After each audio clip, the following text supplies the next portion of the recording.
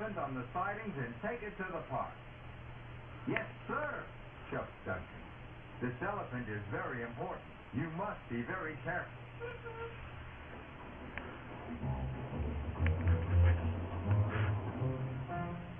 When Duncan saw the elephant, he was surprised. Why, it's only a statue, he said. This is an easy job. You must wait for the brake van, said the station master. This statue is very heavy. Nonsense, puffed Duncan to his driver. I've pushed heavier loads than this plenty of times. Let's go, Duncan, said his driver. But we must be careful. So they left, but without the brake van.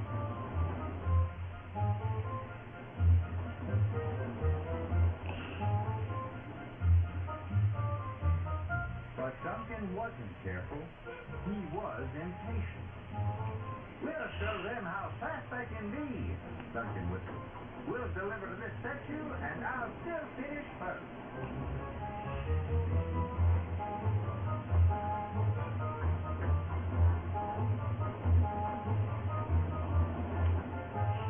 Duncan started to speed up.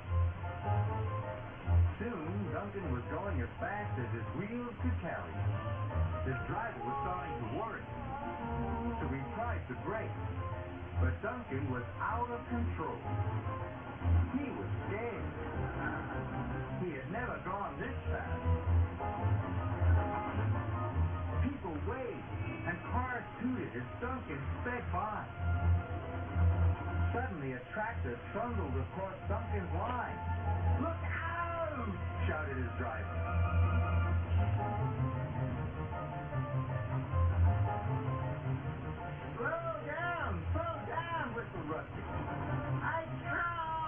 Duncan cried.